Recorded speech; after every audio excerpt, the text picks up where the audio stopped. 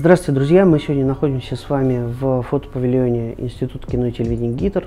И тема нашего сегодняшнего видеоблога, видеообзора – это тест растров, сот, можно как угодно называть их, а, оптических насадок на осветительные приборы.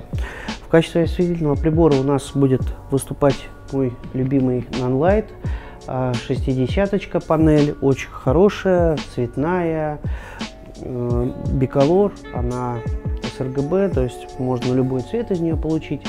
Очень хороший компактный прибор, очень приятный и удобный в обращении. У него есть очень недорогой софтбокс, но в комплекте к этому недорогому софтбоксу идут вот такие вот штатные соты, ну, собственно, как бы есть. Ну, однако эти соты прошли у нас несколько Э, проектов в районе где-то 150 смен они прожили, пережили. Вот видите, они еще живы, но это всего лишь один вид сот, и это соты мягкие.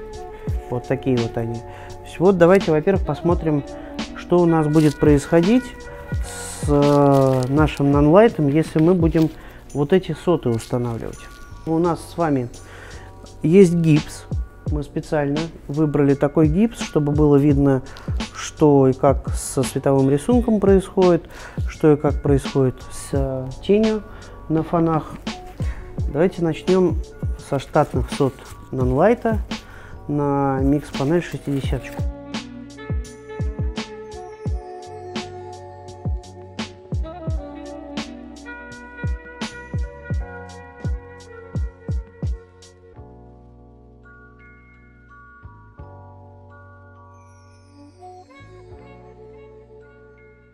Во-первых, они выгибаются, гнутся, да, то есть если я вот растр двигаю, соответственно, это влияет на рисунок, потому что у этих сот жесткости нету.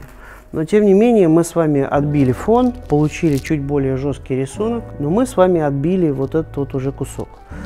Тень осталась, в принципе, достаточно приятная. Кстати, прибор стоит достаточно близко, поэтому, может быть, даже он не так будет сильно проявляться на форме этой тени, но мы это с вами сейчас увидим, э, когда мы будем с другими сотами работать. И мы пойдем с вами на апгрейд, который нам сделали компания Light Complect, пошив не один вид сот, а достаточно большое количество различных сот на эту 60-ку, поэтому мы сейчас с вами будем смотреть, как что меняется. Очень приятные тоже у них кейсики, вот такие красного цвета все подписано, все написано. Это, собственно, от э, длинных сот для э, паутюбов, для э, длинных нанлайтов. Тут даже вот подписано, нарисовано, какой угол, э, на какой угол эти соты раскрываются. Очень все качественно, хорошо сделано. А, и начнем мы с вами вот с таких жестких сот. То есть это подобие того же самого, что мы с вами ставили из э, э, штатного комплекта, но это уже, видите, они на века, они жесткие, у них уже не будет деформации. Давайте посмотрим, что будет получаться. Хорошая липучка, все очень классно, крепко сидит. Мне не надо подбирать угол прибора, чтобы ограничить рисунок на этот гипс. Все уже более прецизионно отбивается, это уже приятно. Но характер рисунка у нас э, сильно не поменялся. Что у нас есть э, еще из этих сот? У нас есть белые соты, у нас есть вот такие вот ромбики, у нас есть соты как соты, и у нас есть вот такие вот соты прямоугольники. Сейчас мы будем смотреть с вами, как это все влияет на рисунок. Наверное, мы начнем с тех, которые мы уже держали в руках на выставке. Это соты в форме сот, как ни странно. Как я уже рассказывал, ребята нашли исчезнувшие страницы из книги Гребенникова, поэтому если вы возьмете эти соты, вы на них еще сможете летать не только их использовать в качестве осветительного прибора, но еще сможете на них летать. Шучу. но может быть, отчасти шучу. Выглядят они так, как будто люди что-то знали, что делали.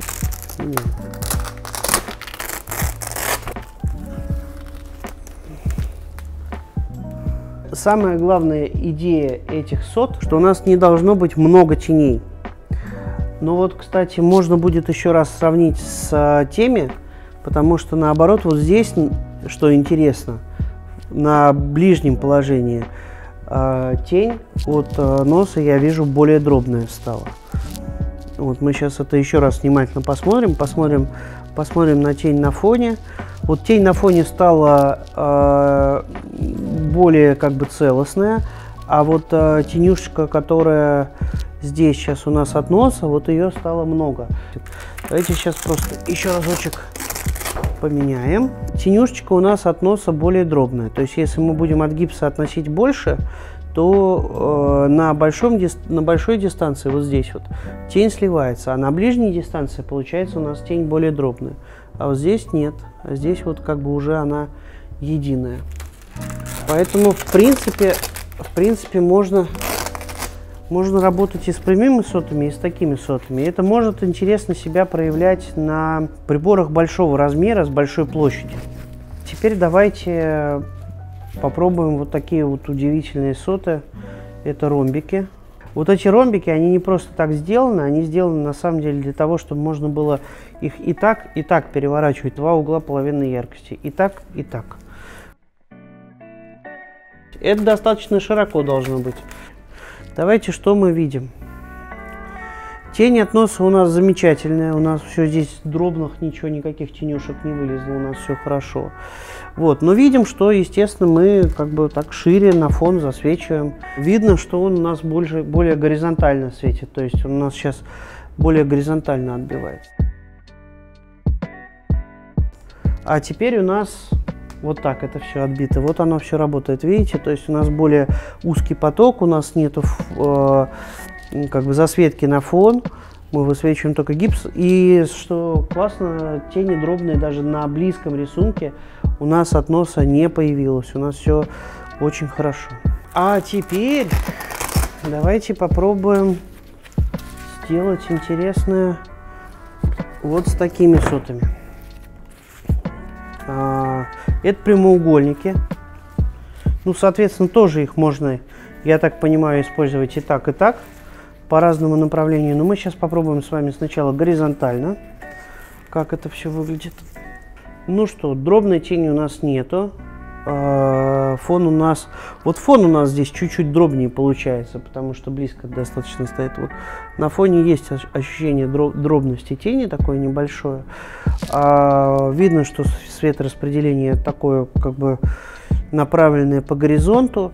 Мы сейчас также можем с ними взять их, перевернуть и превратить их в вертикальные соты. Вот очень хорошо тоже видно, опять видите, мы с вами фон отбили, дробности тени у нас никакой не появилось, рисуночек достаточно мягкий, все хорошо, все, все интересно. В общем, на самом деле получается, что ромбики, что прямоугольники очень близко э, работают э, по смыслу. Здесь нюанс только уже вот именно в дробности этой тени. Получается смысл вот таких вот сот а, все-таки, наверное, в основном в когда вы это вешаете на большие приборы, когда вы вешаете на большие плоскости. А на маленьких плоскостях, на небольшом расстоянии, вот как мы с вами видим, в общем, даже очень неплохо работают э, и вот такие ромбики, которые позволяют нам угол рассеивания менять и, э, и в общем, обычные классические даже соты хорошо работают. Единственное, что получается, вот у этих есть ориентация, а эти универсальные. То есть, как бы, как, как вы их не поставили, они будут одинаково светить, как вы прибор не загриповали. Но вот эта вот история ориентирования сот очень интересная, потому что это похоже на инструменты, какие были у Парлайта. А, у насадок оптических, которые позволяли менять распределение, э, или похоже на историю с отраженным светом, которую продвигал Дедовагер. А сейчас мы с вами возьмем белые соты. Вот лично для меня это очень интересно, потому что это первый опыт. Я вообще как оператор никогда не понимал, чё, чего соты белые дают, вообще зачем они нужны, как они будут себя вести. То есть теоретически они должны, по идее, у нас больше как бы рассеивать поток. Давайте посмотрим, что будет происходить.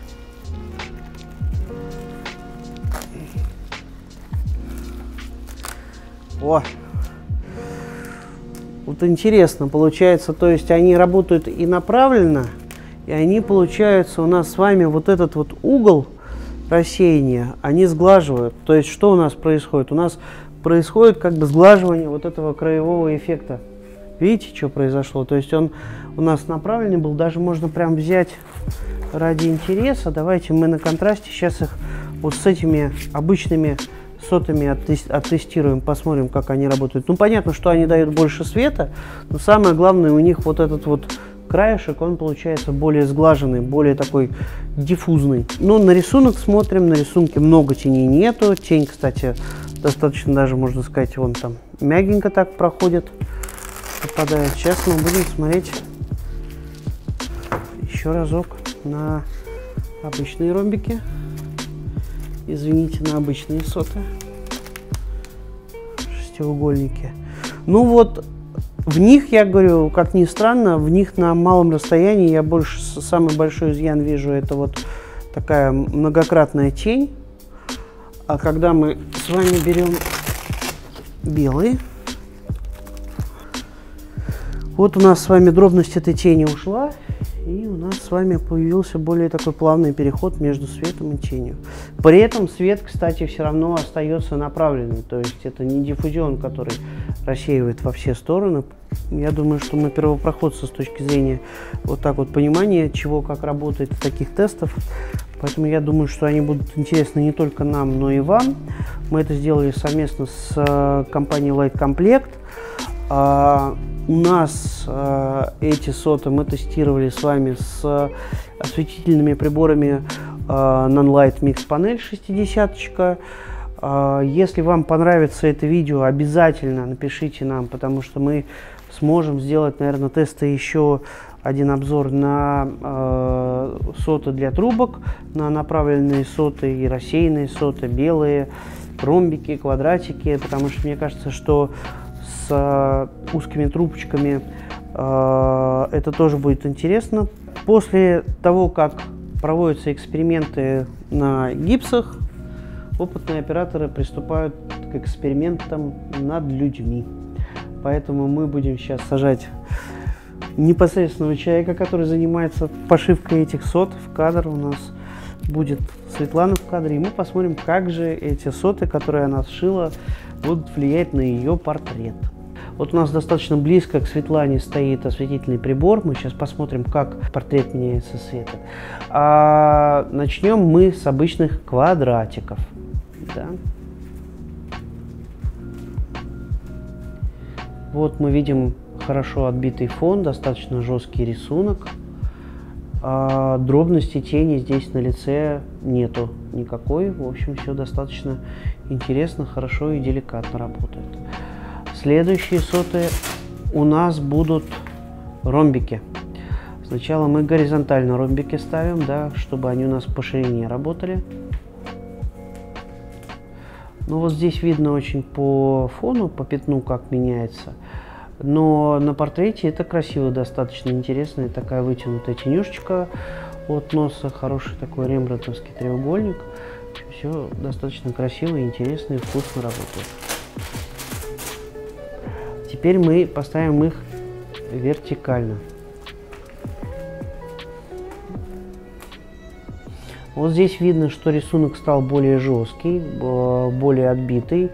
А, собственно, и фон у нас а, сильнее отбит. То есть у нас сейчас они работают на угол 35 градусов. Первый угол у нас был 70 градусов, а второй угол 35 градусов. Следующие соты у нас вертикальные. Вертикальные соты, вертикальные прямоугольники и горизонтальные. В общем, характер портрета на самом деле очень сильно меняется. И хорошо, что это на таких близких расстояниях происходит, мы это очень хорошо видим изменения.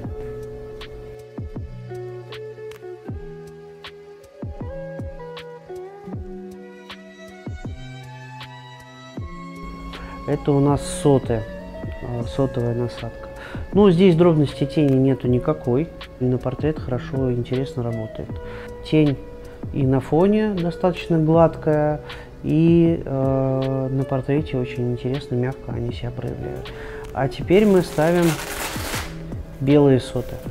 Вот это белые соты, это портретные соты, красивые, хорошие, очень мягко дают э, переход тенюшечки, сразу видно, что много света э, появляется от прибора, при этом, в общем, он все равно не превратился в какой-то супер рассеянный, он все равно остался достаточно направленным, но, конечно, видно, что мягче градиент стал на фоне, сильно мягче градиент стал на фоне, но на портрет это красиво, очень интересно, вкусно работает, ощущение, что э, прям выходной зрачок осветительного прибора стал сильно-сильно больше. Так, давайте еще разочек посмотрим, как меняются тени на вот этом нашем замечательном черном человечке. Это без сот, это просто центре пятна дробности нету, а дробность появляется, когда мы краешком светим. С краешку пятна есть дробная тень. Белые соты. Вот, и, соответственно, и сама тень тоже более плавный переход, более мягкий переход получается. На краешке пятна есть дробная тень, но она не так видна. Ну и пятно видно, что мягче, шире и меньше градиент. Остались у нас прямоугольники. Э, дробная, ну она имеет другую форму на краю пятна. Тоже тень у нас получается э, дробная, ну она имеет другую форму на краю пятна. В центре пятна она практически в общем в одно сливается. Ориентацию сот поменяем. Здесь получается более узкий поток. Вот, и форма тени тоже другая. Интересная получается ромбики. Дробности тени нету даже на самых боковых точках, даже практически в самом краешке. Теперь попробуем поменять ориентацию. Вот. Здесь, кстати, уже интереснее. Здесь дробь тени проявляется. Чем больше к краю, она проявляется как бы сильнее. Получается, чем более вытянутый рисунок, тем меньше проявляется дробь. В общем, в центре пятна дробности тени не проявляется. В основном она проявляется именно с краюшку. И меняем вертикаль. Менее проявляется на краевом, потому что соты уже. А на этом все. Давайте теперь пишите в комментариях, какие соты понравились вам.